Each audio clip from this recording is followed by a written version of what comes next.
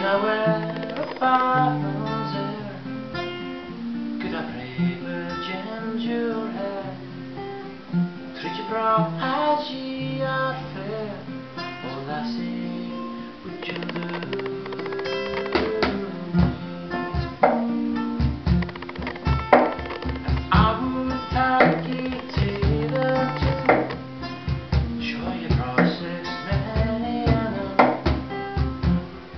I